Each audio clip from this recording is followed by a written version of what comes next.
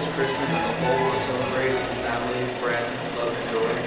And today we're going to teach you the say Merry Christmas in five different languages. Bom, hoje eu não perguntei, eu sei que fonte, joia não é.